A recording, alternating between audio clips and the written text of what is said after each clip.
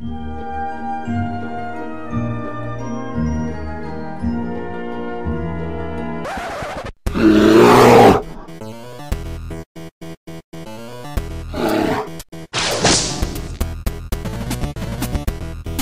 everybody, my name is Grizzly Guernsey Gamer or Triple G for short and today we're going to be talking about the Earforce XO 7 headset for the Xbox One. I'm going to be going through things like pros and cons, specifications, price and anything that's a bit difficult to learn just from opening the box and putting it in. The uh, specifications for this new headset are quite similar to some of the older headsets that came out on the 360. This is the first one that's going to be on next gen with the Xbox One, I believe there's also one for the PlayStation 4. Um, it's pretty similar, there's 50mm drivers, there's, um, I think this one has 7.1 surround sound rather than 5.1 from the 360. There's also things like uh, it's wireless but not in the conventional sense so if you have ever used things like the X12s which I use on my 360 there's less tangling all the cables between your desk and all your other parts for your consoles and tables and such. Uh, there's also um, a few other tweaks like the way that the uh, the volume dials work now. Um, on the X12 there used to be a bass slider and there also used to be a game chat and a party chat slider. Uh, the new one changes that a little bit and it's used with this new adapter. Uh, there's a few different things to this adapter.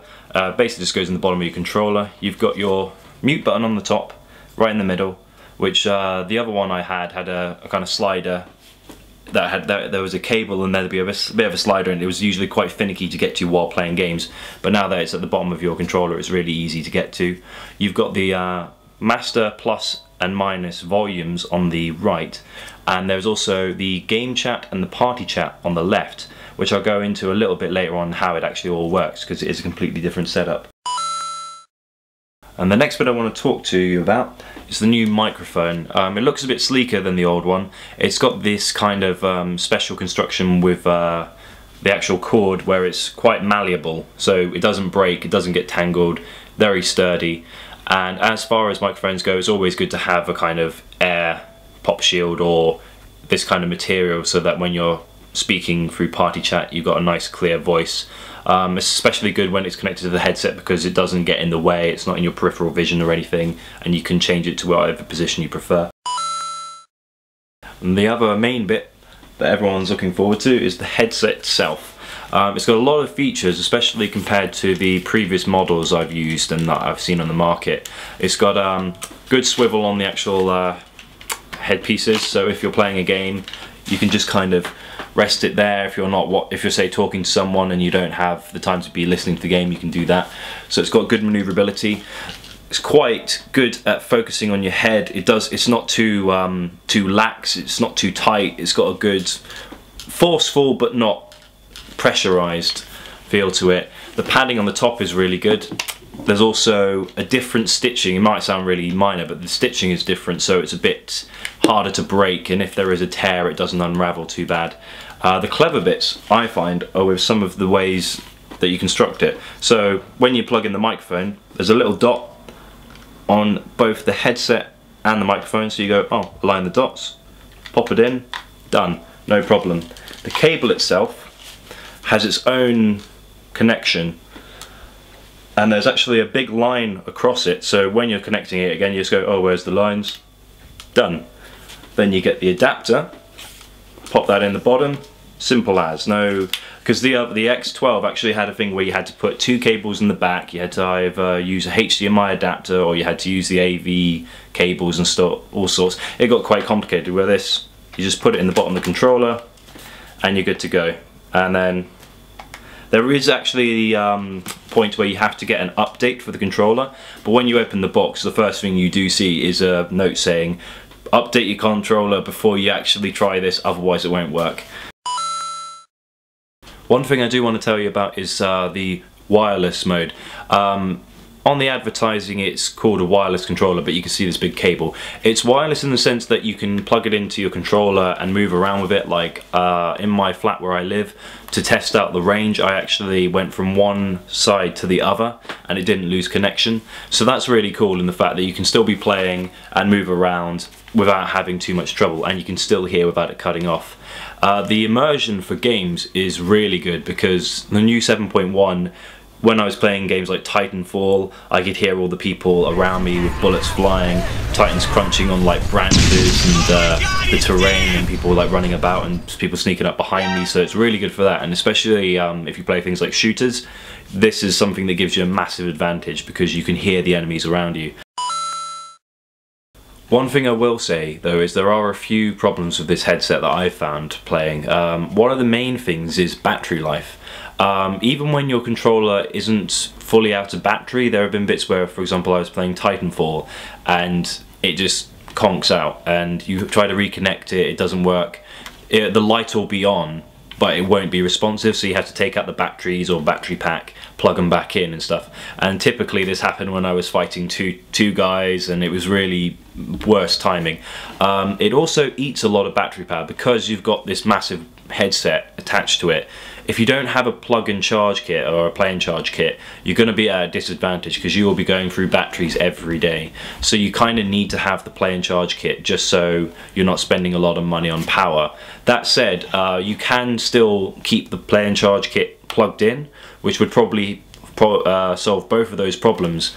Um, it's not like with the X12s again, where um, when you plugged in a play and charge kit and had the headset, there'd be a massive buzzing noise.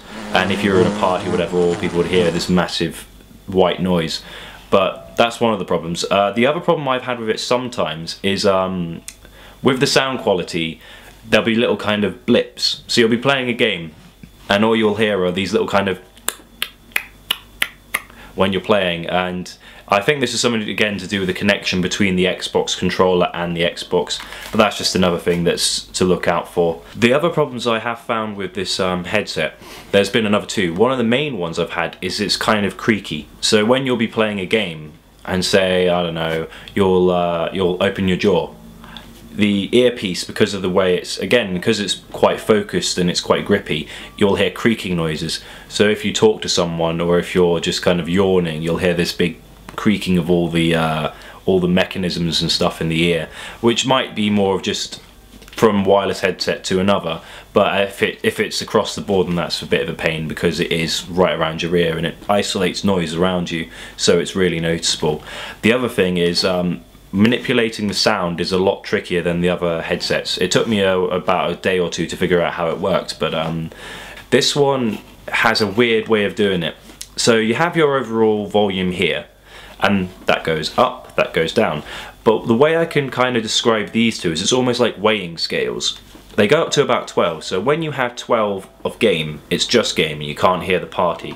But every time you press down, you basically tip the scales until they're either even or exactly the opposite.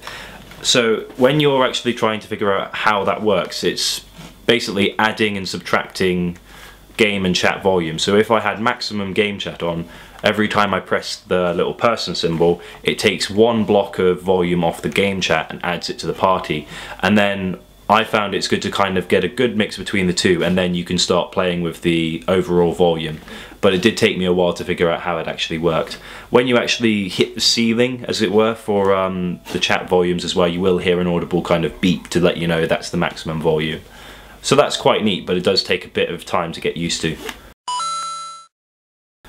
There are two types for this headset. There's the um, one I'm showing you today, which is the Air Force Earforce XO and the X-Force 4. Now, the only major difference, without getting too technical, is that the 7 has better audio drivers, so you'll get a better and more clear sound, but you also get another cable so you can connect it to things like mobile devices, iPods and tablets. So even if you're on the move, you can be playing some of your casual games with this headset and get the best possible sound. This one will set you back $129.99 UK price. The 4 will put you back $99.99. So in summary, you may be wondering, should I need this if I want to be playing games on Xbox One? You don't technically need it. This is more of an alternative if you don't have a very high-tech sound system, because that will get you a better experience overall. But if you're in, say, noisy apartments or houses, or you need something that doesn't make a lot of noise but has really good quality and is confined just to your ears, this is the stuff you need. If you're also into things like shoot 'em ups, this kind of gear is exactly what you need to up your game because you'll be able to hear much more clarity in the game and you'll be able to hear when people are trying to sneak up behind you or distant calls for where you're supposed to be going where the fight is thickest. And with games like Thief, which are more single player, it really adds to the immersion of the game because the quality is so different from just listening to it from a tele speaker or listening from a surround sound. But if you don't have that, this is the way to go. I give it Grizzly approval.